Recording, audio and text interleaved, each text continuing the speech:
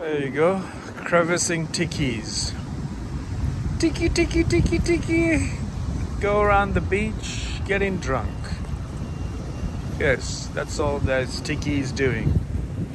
That's all you wanted to do as well. Plastic. This is plastic. Yes, man can produce anything you want. In the sense that they will destroy the planet. They will keep producing tiki drinks, destroy you, destroy the planet, give you the feeling that you are actually in the real nature.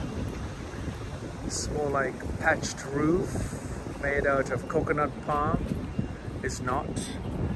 It's made out of plastic. Yes, they look absolutely tiki, yeah?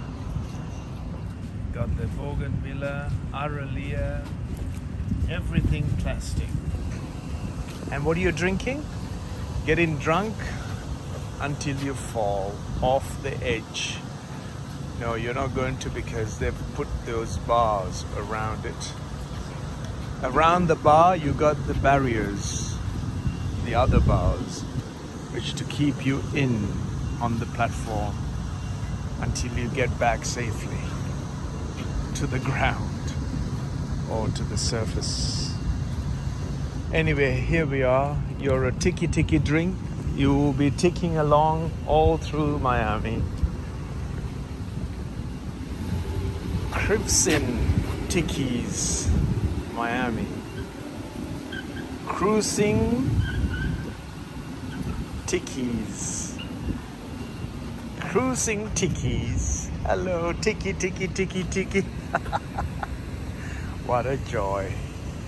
And what a stupidity. No, it's a clever idea for you to get drunk in a fashionable way whilst not only polluting yourself, but you're just going around polluting the ocean as well with the Suzuki marine engine.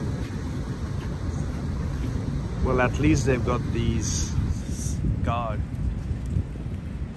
any creatures getting caught in it. Or was it to protect the men, the propeller by getting caught in the fishing nets? Anyway, I'll leave it to you to the to think of all of the things I've said and for your clever ideas of getting drunk on a floating tiki